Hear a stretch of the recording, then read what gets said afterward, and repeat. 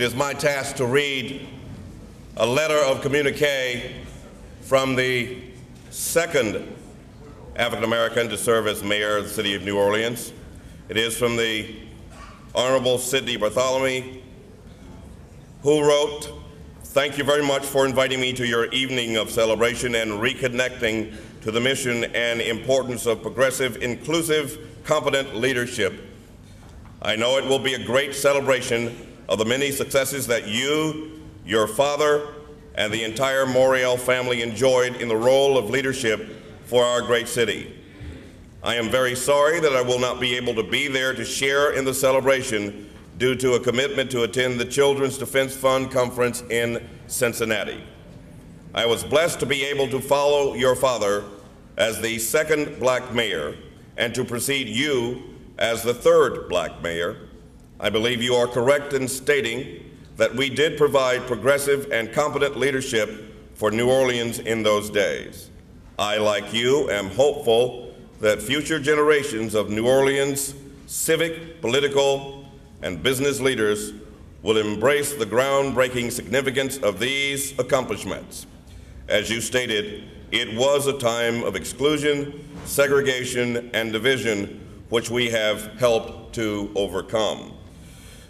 You are to be congratulated for going even further by providing leadership on the national stage as president of the National Urban League and to show the rest of the country the caliber of leaders to emerge from New Orleans.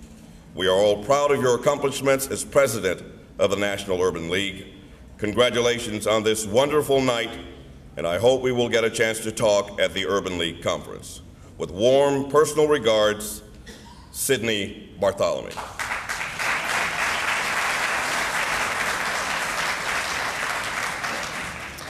And now to direct your attention to a special video of the life and times of the late Dutch Morial and the administration that accompanied him into the annals of New Orleans history.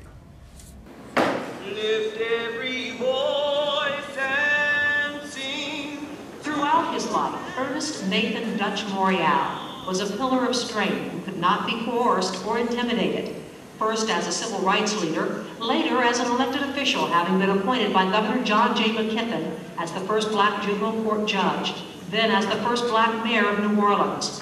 Some thought Dutch was so strong he was almost superhuman. When Dutch died suddenly in 1989 at the age of 60, New Orleans was shocked.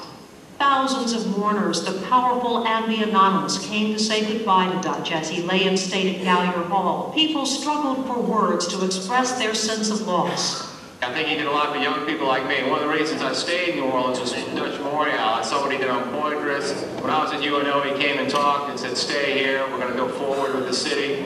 And I listened to him and I'm glad I stayed in New Orleans. I prefer uh, instead of arrogance,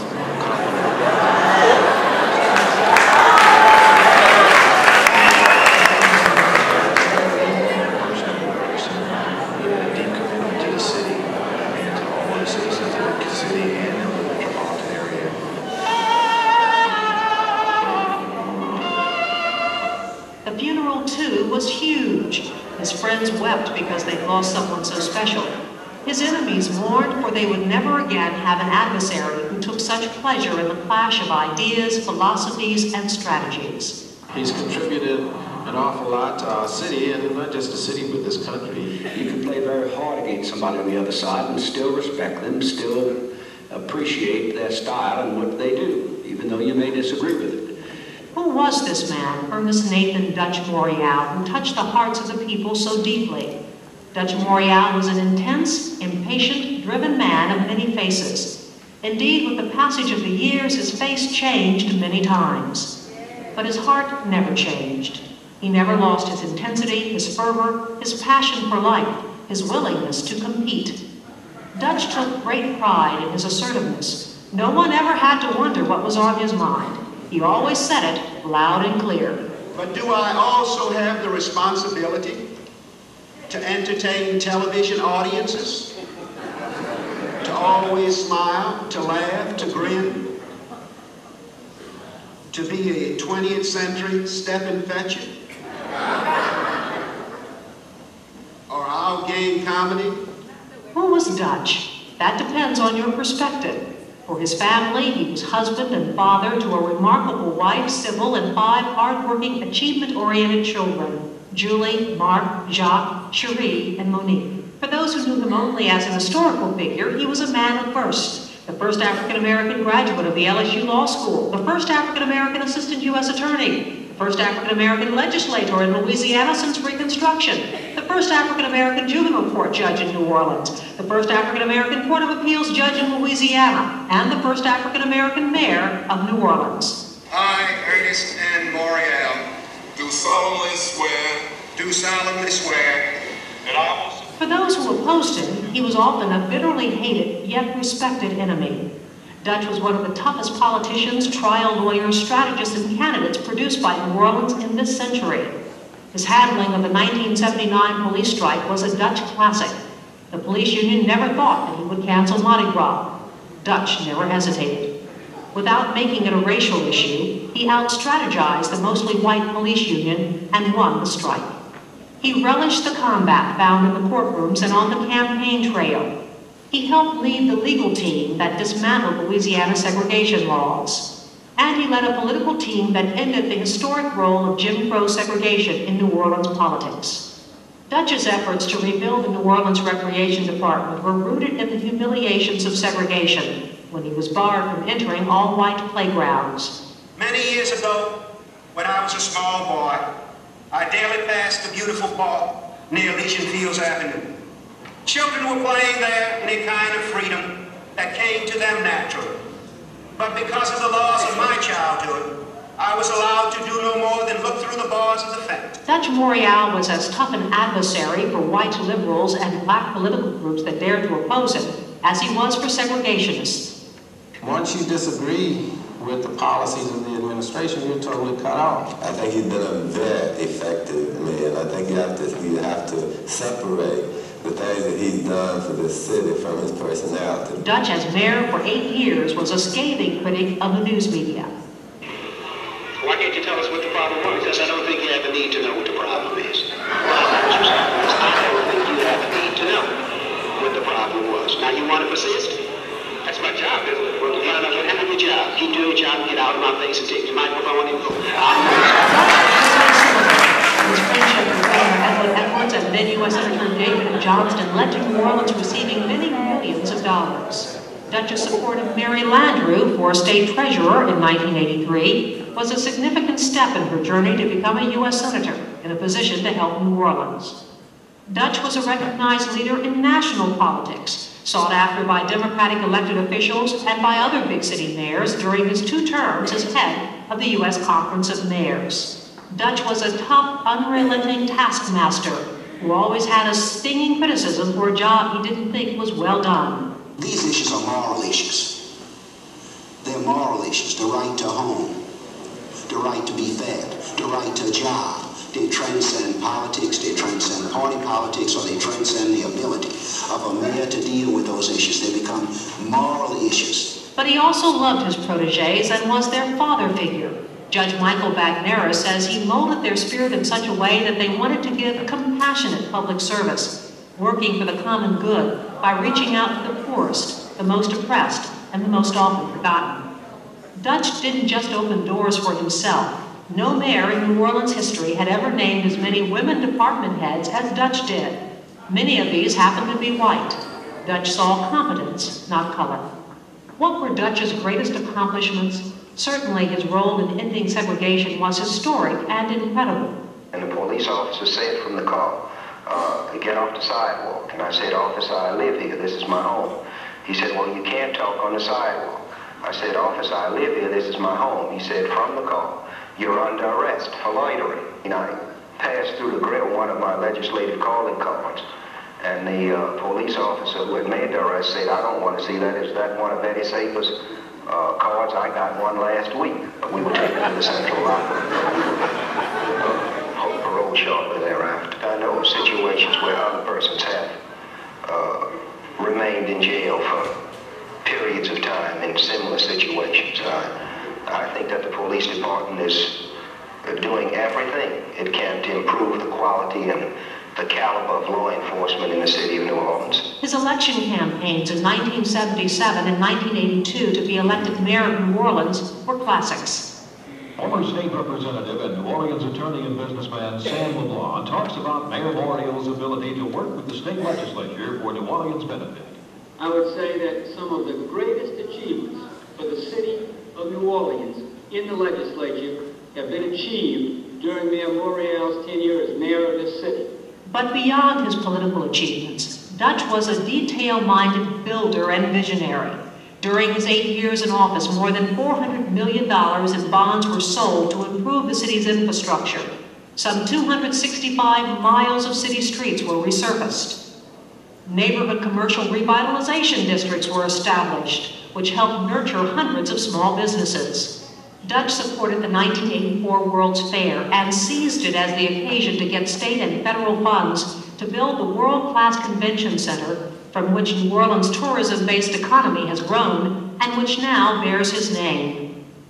Dutch loved kids. He took pleasure in being a tutor and role model to children of all ages, sizes, gender, and races. He would stop to talk to them, challenge them, and encourage them to work hard in school.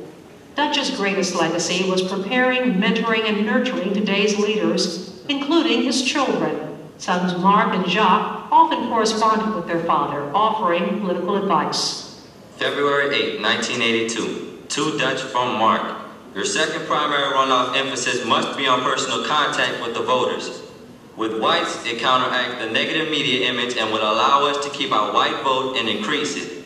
With blacks, you must go door to door in targeted areas. We need enthusiasm, and it is best generated by your presence. Presence equals turnout equals victory. So how will Dutch be remembered by the leaders of tomorrow? Dutch Morial opened the doors for everyone. Just Morial, great courage.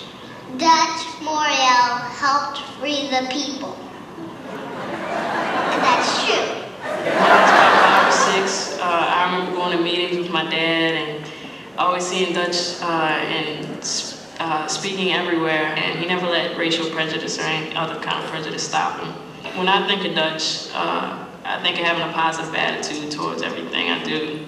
I think of accomplishing all the goals that I set, set for myself and doing anything I want to do and being anybody who I want to be. Marc Morial, now mayor of New Orleans, eloquently spoke at his father's funeral in St. Louis Cathedral.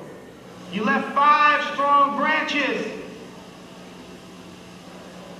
And we're going to keep the faith. You left five strong branches. And Daddy, we're going to keep the drive alive. Thank you. Soon will be done with the troubles of the world, the troubles of the world, oh, the troubles of the world. Soon I will be done with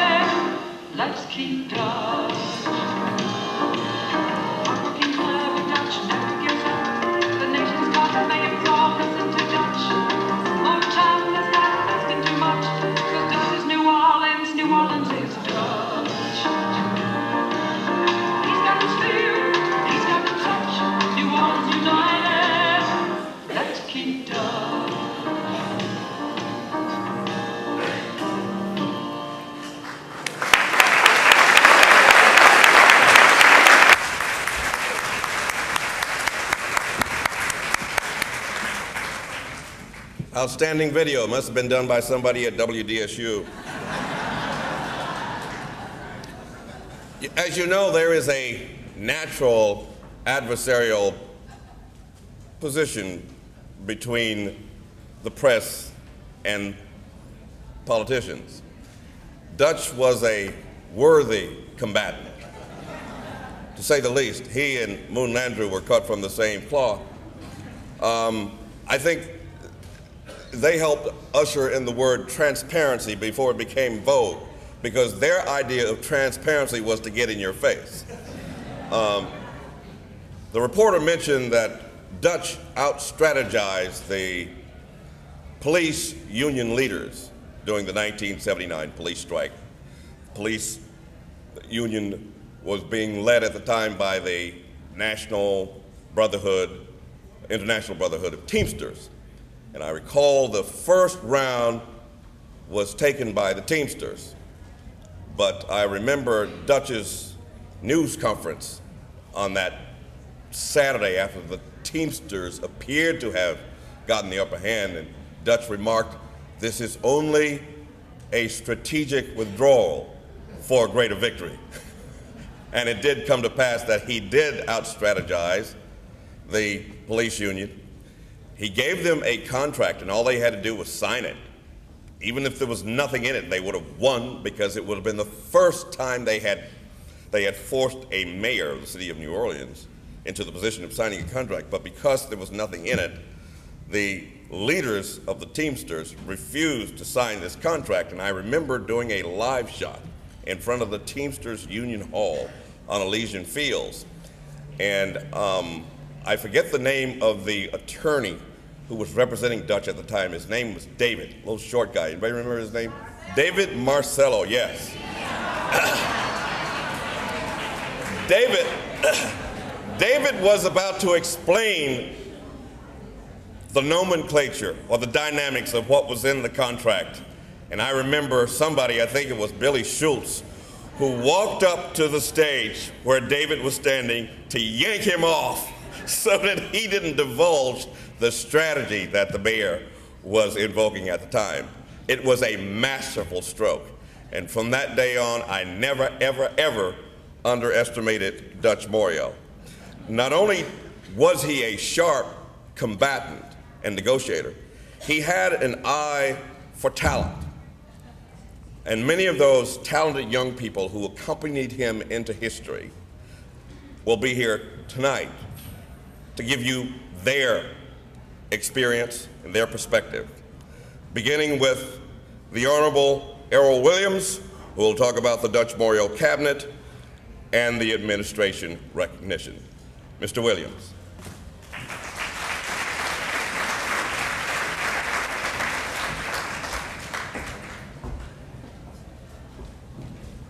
Thank you and good evening.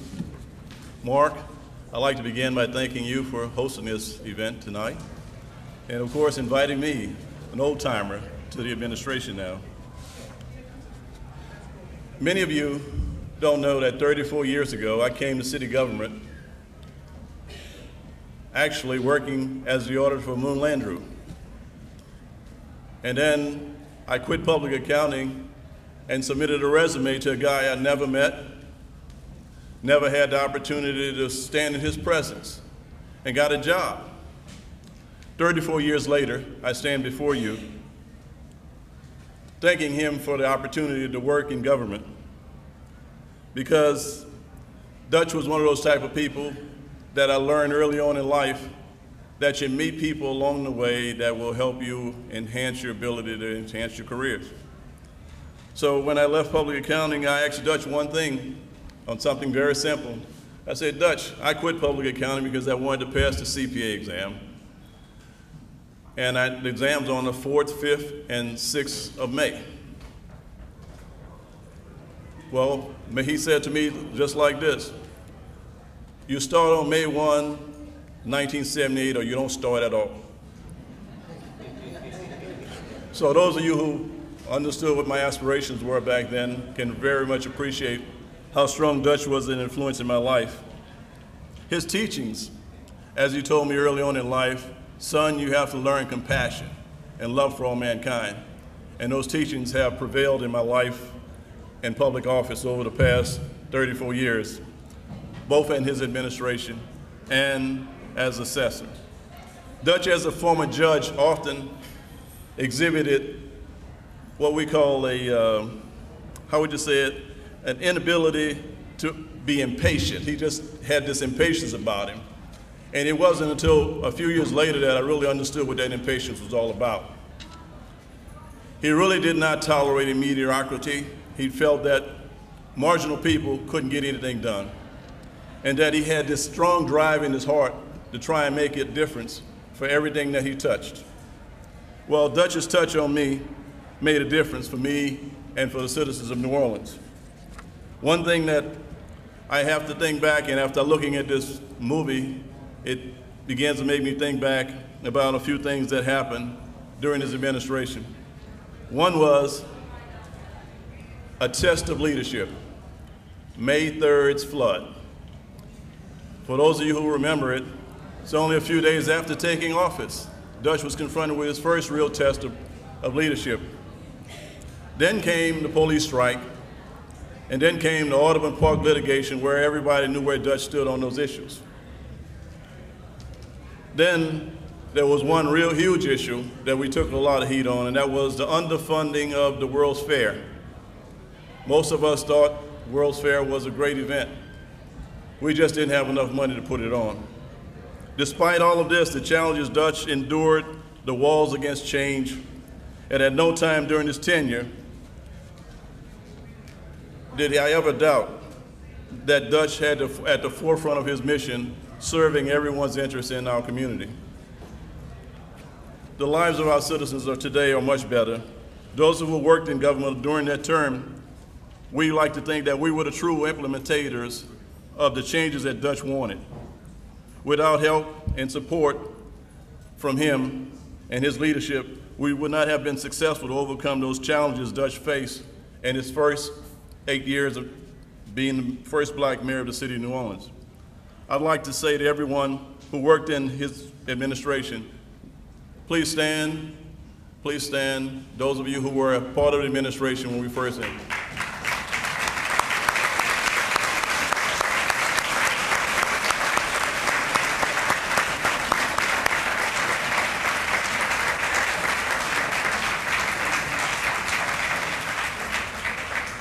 Thank you for the opportunity to serve under Dutch's administration to serve in, as a leader in this community and the assessor's office over to my past.